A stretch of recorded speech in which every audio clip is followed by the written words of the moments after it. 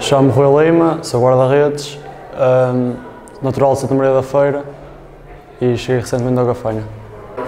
Uh, achei uma equipa ambiciosa, com fortes objetivos de subida, que acho que irão ser concretizados e é sempre bom estar numa equipa ambiciosa. São umas condições boas, as condições de, de um clube superior, está para estar em patamares superiores e espero evoluir aqui. Vou dar o meu melhor, espero que também todos deem contributo da equipa e dos objetivos do clube.